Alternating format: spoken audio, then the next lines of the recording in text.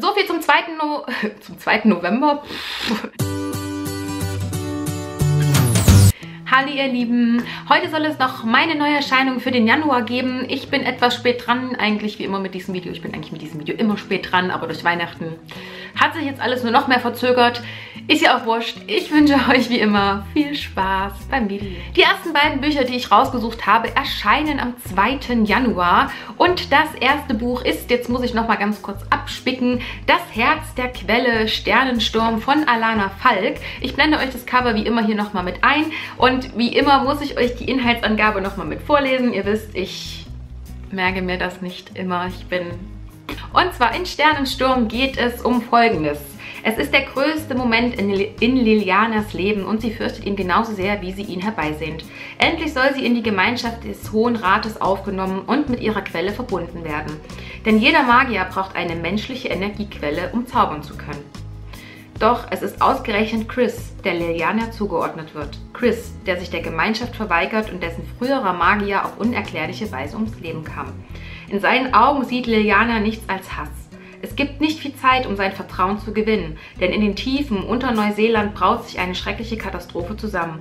Und nur Liliana und, nur Liliana und Chris können sie aufhalten. Ich finde, das hört sich wirklich sehr, sehr interessant an und deswegen habe ich mir es auf jeden Fall mal mit aufgeschrieben. Soviel zu Sternsturm von Alana Falk. Das zweite Buch, was ebenfalls am 2. Januar erscheint, heißt Diabolik, vom Zorn geküsst von S.J. Kincaid. Ich habe keine Ahnung, ob das ein Mann oder eine Frau ist.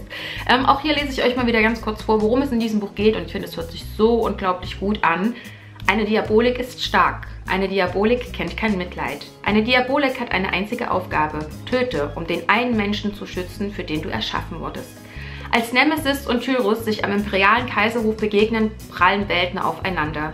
Sie, eine Diabolik, die tödlichste Waffe des gesamten Universums. Liebe ist ihr völlig fremd. Er, der Thronfolger des Imperiums, der von allen für wahnsinnig gehalten wird. Liebe ist etwas, das ihn nur schwächen würde. Das ausgerechnet diese beiden zusammenfinden darf nicht sein. Denn an einem Ort voller Intrigen und Machtspiele ist ein Funke Menschlichkeit eine gefährliche Schwachstelle. Und ich finde, das hört sich so gut an. Und dann gibt es dort wieder eine Liebesgeschichte, die nicht sein darf. Und das ist ja ist genauso mein Ding. Und ah, ja, also dieses Buch möchte ich mir auf jeden Fall mal mit angucken. Und äh, ja, finde, hört sich sehr, sehr gut an. Diabolik von Zorn geküsst von S.J. Kincaid. Ähm, ja, landet, auf landet definitiv mit auf meiner Wunschliste. Das waren die zwei Bücher vom 2. Januar. Die nächsten Bücher, die ich euch zeigen werde, kommen alle am 9. Januar raus. Da es alles Fortsetzungen sind, werde ich jetzt hier nicht so viel dazu sagen. Und zwar einmal Eis wie Feuer von Sarah Raj. Raj was auch immer, Raj. Das ist der zweite Teil zu Schnee wie Asche. Ähm, den bekomme ich auf jeden Fall vom Verlag zur Verfügung gestellt und da freue ich mich wirklich schon sehr drauf, den zu lesen.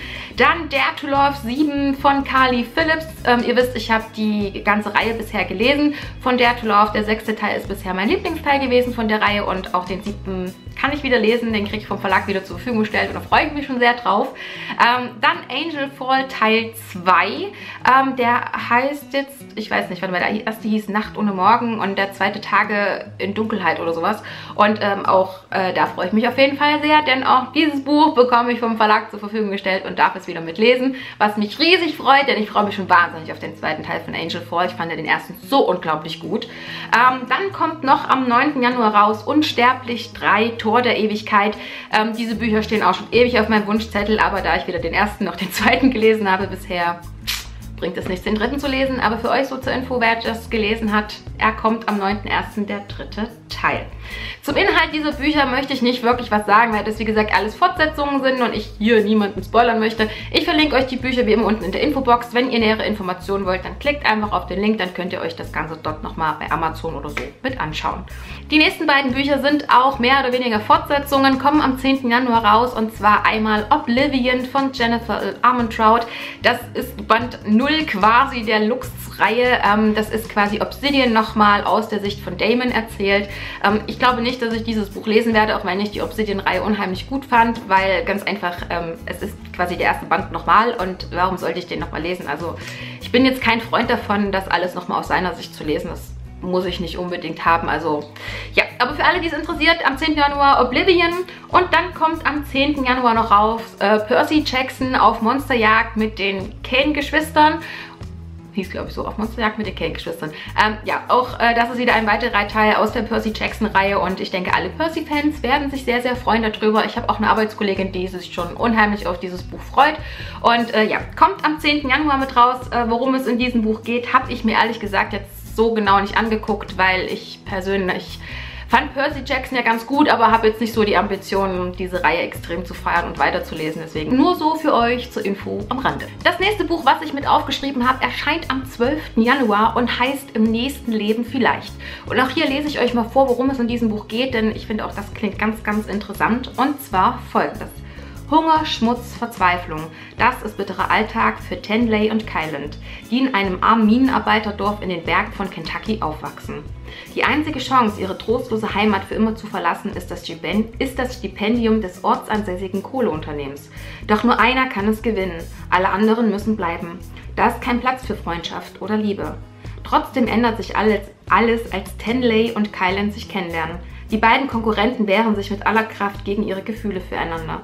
Denn was passiert, wenn einer von ihnen gewinnt? Wenn nur einer gehen kann und der andere zurückbleibt? Und ich finde, das klingt wirklich ganz, ganz toll. Und jetzt hat das iPad von meinem Freund ein Geräusch von sich gegeben, Entschuldigung. Und ähm, ja, ich finde, das klingt ganz, ganz toll und ganz, ganz interessant. Und ähm, wenn zwei Liebende doch auch Konkurrenten sind, finde ich, ist das mal ein ganz, ganz interessanter Ansatz. Und da freue ich mich auf jeden Fall schon ganz, ganz doll auf dieses Buch. Und äh, ja, mal schauen, wie es ist. Ich habe es mir auf jeden Fall mit aufgeschrieben. Dann am 13. Januar wieder zwei Fortsetzungen und zwar einmal der dritte Teil zur Game On-Reihe von Kristen Callahan. Diese Reihe steht ja auch schon ewig auf meinem Wunschzettel. Ich habe sie noch nicht gelesen. Es ist auch eine College-Football-Reihe und ähm, ja, erscheint der dritte Teil auf jeden Fall am 13. Januar. Ebenfalls am 13. Januar erscheint der zweite Teil von Mona Castens Again-Reihe Trust Again. In diesem Buch geht es ja um Dawn und Spencer, was ja die besten Freunde von Caden und Ellie sind, die im ersten Teil ja unsere Hauptcharaktere waren. Und ich fand ja das erste Buch nicht so mega dem Hype gerecht, aber ich fand es ganz gut und ich möchte auf jeden Fall wissen, wie es mit Dawn und Spencer weitergeht. Das heißt, ich werde den zweiten Teil auch auf jeden Fall lesen. Das nächste Buch, was ich euch zeigen möchte, erscheint am 16. Januar und ist das neue Buch von Marie Lou, Young Elites. Ihr werdet es sicherlich überall schon mal auf Facebook und Booktube, da geht es ja gerade rum, ähm, schon gesehen haben. Und zwar auch hier lese ich euch mal ganz kurz vor, worum es in diesem Buch geht, denn ich finde, es hört sich wirklich sehr, sehr gut an. Über Nacht verfärben sich Adelinas wunderschöne schwarze Haare plötzlich silbern. Seit sie das mysteriöse Blutfieber überlebte, ist die, ist die Tochter eines reichen Kaufmanns gekennzeichnet, von der Gesellschaft verstoßen. Aber die Krankheit hat ihr nicht nur eine strahlende Zukunft genommen, sondern auch übernatürliche Kräfte verliehen. Und Adelina ist nicht die Einzige. Die Gemeinschaft der Dolche wird vom König gejagt und gefürchtet. Denn mit ihren unerklärlichen Fähigkeiten sind sie imstande, ihn vom Thron zu stürzen. Doch dazu benötigen sie Adelins Hilfe. X-Men meets die Rote Königin, eingebettet in eine märchenhafte Welt, die an das Venedig der Renaissance erinnert.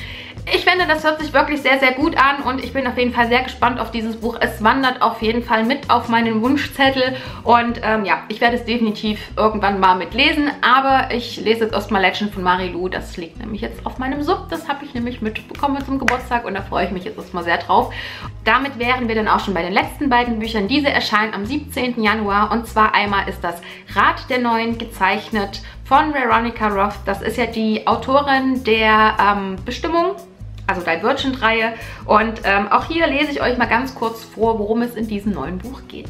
In einer Galaxie, in der Gewalt und Rache das Leben der Völker beherrschen, besitzt jeder Mensch eine besondere Lebensgabe. Eine einzigartige Kraft, die seine Zukunft mitgestaltet. Doch nicht jeder profitiert von seiner Gabe. Entschuldigung. Kyra ist die Schwester des brutalen Tyrannen Ryzek. Ihre Lebensgabe bedeutet Schmerz, aber auch Macht. Was ihr Bruder gezielt gegen seine Feinde einsetzt. Doch Kyra ist mehr als bloß eine Waffe in Ryzeks Händen. Sie ist stark und viel klüger als er denkt. Akku stammt Akku stammt aus einem friedliebenden Volk und steht absolut loyal, und steht absolut loyal zu seiner Familie. Als Akkus und sein Bruder von Ryzek gefangen genommen werden, trifft er auf Kyra. Er würde alles dafür tun, seinen Bruder zu retten und mit ihm zu fliehen. Doch mächtige Feinde stehen ihm im Weg. Akkus und Kyra müssen sich entscheiden, sich gegenseitig zu helfen oder zu zerstören. Ich finde, das klingt wirklich sehr, sehr interessant und äh, scheint mal so eine Science-Fiction-Welt zu sein, in der das Ganze spielt. Die Bestimmung war ja eine Dystopie. Und ähm, ja, ich bin auf jeden Fall sehr, sehr gespannt auf die Geschichte und ich werde mir Rat der Neuen von Veronica Roth auf jeden Fall mal mit angucken. Damit wären wir dann auch schon beim letzten Buch für dieses Video und zwar heißt das Chosen, die Bestimmte von Rena Fischer. Und ich lese euch auch hier mal ganz kurz vor, worum es in diesem Buch geht. Ein Elite-Internat für Hochbegabte, nicht gerade Emmas Traum. Doch Sensus Corvi ist kein normales Internat. Emma ist eine Emotiontaucherin und kann die Gefühle anderer Menschen spüren. Auch all ihre Mitschüler verfügen über besondere Gaben, was für Emma etwas gewöhnungsbedürftig ist. Der charismatische Aiden kann beispielsweise die Elemente beeinflussen. Vor allem aber bringt er Emmas Gefühlswelt ziemlich durcheinander. Als plötzlich Jared, ein ehemaliger Schüler bei Emma, auftaucht, und sie in das düstere Geheimnis einweiht, das hinter den Mauern des Internats lauert, gerät Emma zwischen die Fronten und weiß nicht mehr, wem sie trauen kann. Eine Rebellion bricht los, die mehr ist als ein erbitterter Kampf. Und für Emma geht es dabei nicht nur um die große Liebe, sondern auch um Leben und Tod. So viel zur Inhaltsangabe von Chosen. Da ist mir doch jetzt gerade glatt der Kameraakku abgeschmiert, nachdem ich fertig vorgelesen habe. Und äh, es sind jetzt inzwischen wieder zwei Stunden vergangen und äh, ich habe gleich einen zweiten Akku bestellt jetzt in der Zeit, damit ich es nicht wieder vergesse. Ich habe schon tausendmal gesagt, Susi, bestell einen zweiten Akku und jedes Mal habe ich es vergessen. Jetzt habe ich in der Zwischenzeit aber einen neuen Akku bestellt. Also dass ich in Zukunft weiterfilmen kann, wenn mir der erste Akku abkackt. Ugh. Naja, ähm, so viel auf jeden Fall aus Butcher Chosen und den anderen Neuerscheinungen vom Januar. Ich finde, es kommen im Januar wieder einige tolle Bücher raus und ähm, auch für das Restliche sieht es sehr, sehr gut aus, was da an Büchern kommt. Es ist auf jeden Fall sehr, sehr vielversprechend. Und äh, ja, das war es jetzt erstmal von meinen Neuerscheinungen. Wie gesagt, kurz vor Ende noch der Akku abgeschmiert. Super! Was sagt ihr denn so zu den Neuerscheinungen vom Januar? Gibt es noch andere Bücher, wo ihr sagt, das müsstest du dir auf jeden Fall mal angucken? Ähm, schau da auf jeden Fall nochmal mit rein, das hast du jetzt hier nicht erwähnt. Dann schreibt es mir auf jeden Fall unten in die Kommentare. Ich freue mich auf jeden Fall drauf und ansonsten bedanke ich mich natürlich wie immer fürs Gucken und wünsche euch noch eine schöne Woche. Bis zum nächsten Mal. Macht's gut. Tschüss!